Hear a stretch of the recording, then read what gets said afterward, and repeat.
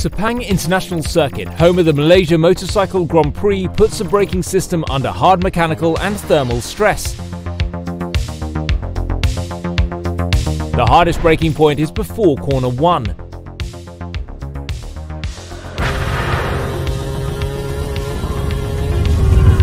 The initial speed is 323 km per hour. The rider applies a maximum lever load of 5.7 kilograms, thus generating a hydraulic pressure of 12.3 bar in the system, traveling 264 meters in 6.0 seconds.